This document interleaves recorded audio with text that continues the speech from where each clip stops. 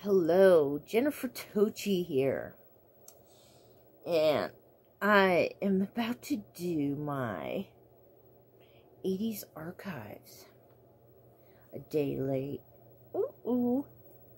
Yes, um, I'm wearing one of my new shirts. The freaks come out at night. Yes. the Baseball Furies from a damn good movie called Warriors. The Warriors, yes. Warriors come out to play. yes. But I'm doing another movie. that one was done in the 70s. I am doing somebody named Hobbs Horror asked if I would review this, I believe. And it is Tootsie. And yes, this is Dustin Hoffman dressed as a woman. yes. And darn it, he makes a pretty darn good looking woman. Yes basically about a temperamental actor played by Dustin Hoffman, whose name is Michael Dorsey, who can't find a job, wants to find one, and finds out about a job from a friend of his that is needs a a woman actor who um playing in a soap opera. Yes, an actress in a soap opera. So basically he gets dressed up as a woman, yes. And basically becomes a hero to all women. yes. um I don't he's he basically plays a woman who, you know, um, in the soap opera, he, he, well, he turns his name into Dorothy Michaels, yes. And, um, he, if he uh, Dorothy Michaels stands up for herself. Yes, she does. And tells all the men where to go when they try to kiss her or, um, um, stands up against the director. He tells her what to do. He calls her Tootsie. And she says, You will call me Dorothy. uh, guy's about to kiss her, Dorothy Michaels. And she hits him over the head with her paperwork.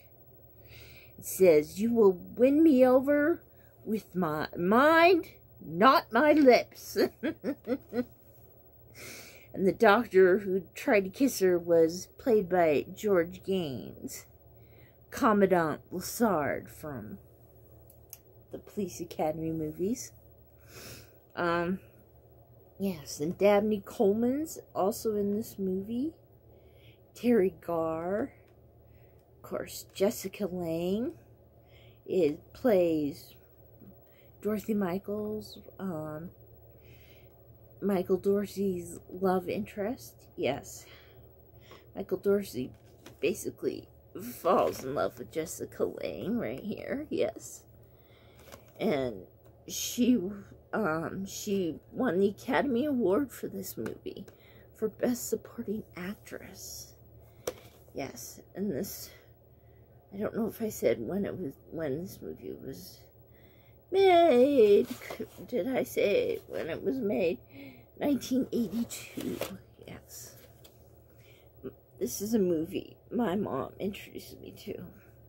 She is a Dustin Hoffman nut. She, she loves the guy, and the, my goodness, I've, I've I appreciate him too. But she won't watch The Marathon Man.